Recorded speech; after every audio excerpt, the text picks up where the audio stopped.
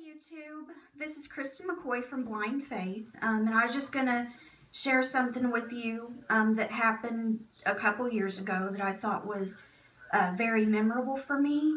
Um, but first of all, I would like to recognize a couple of shout outs that I got. Um, I just watched the videos a few minutes ago. So um, the first one was from Ghost Cobb, I believe it was. Um, you know, the the little shout out that you gave me, I mean, it was absolutely beautiful. I mean, it, it means a lot when um, you say things like, my faith is addicting and things like That's the kind of stuff that I want to hear because then I, I know that God's using me and that's what I want to happen.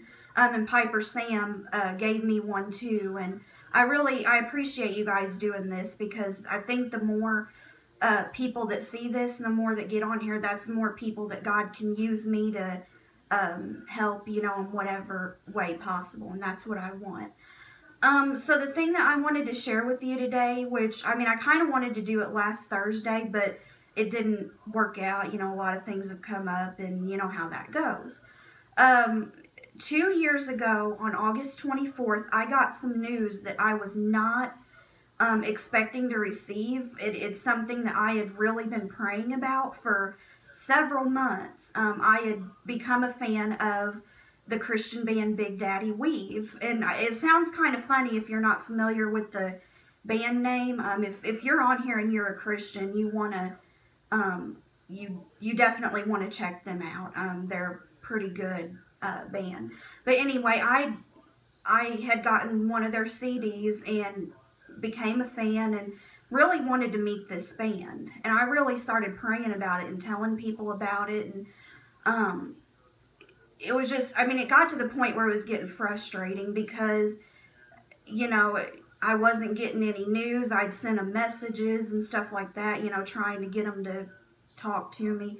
Um, and it just wasn't, nothing was coming of it. Well, um, on August 24th of 2015, um, my mom had come home from work and told me that we needed to get on Facebook and talk to my cousin um, from Tennessee, uh, Gina Rollins. And um, we just basically did a video chat with her and she had sent a card with some uh, song lyrics and at first I didn't really get it. You know, I could see a trend there. I noticed they were all lines from Big Daddy Weave songs, but I didn't think anything of it. And she was just asking me what she thought that meant.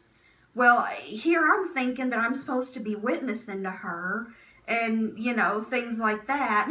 well, come to find out, um, I had received the news that I was going to get to go to Marion, Illinois to not only listen to Big Daddy Weave play, but I was going to get to do a question and answer session with them.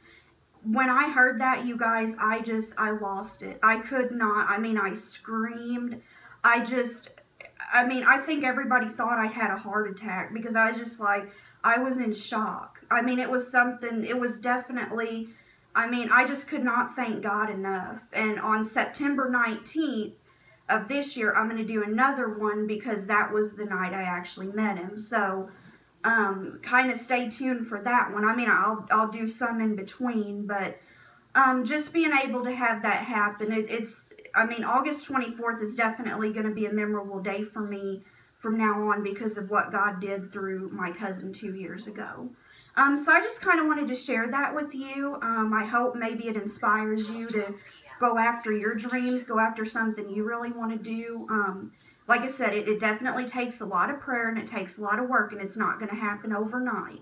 Um, it took me several months. So, um, but anyway, just thought I'd share that with you. Um, again, sorry it was so long for we could do a video. So again, this is Blind Faith. This is Kristen McCoy. And until next video, God bless and see you later.